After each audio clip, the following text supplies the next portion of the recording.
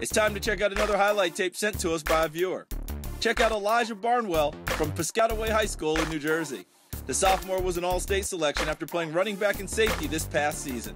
He rushed for over 900 yards and scored 12 touchdowns, and he also recorded 37 tackles on defense. He'll be a name to watch in the New York area over the next couple of years.